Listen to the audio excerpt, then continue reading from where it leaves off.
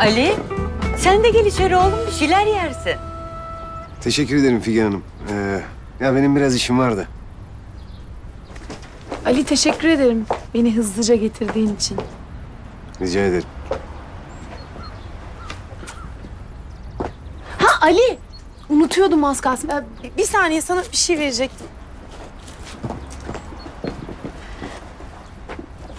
Hazal benim biraz acelem vardı. Tamam tamam. Sana almıştım ben bunu. Alsana. Ne gerek vardı ya? Canım gerektiğinden değil.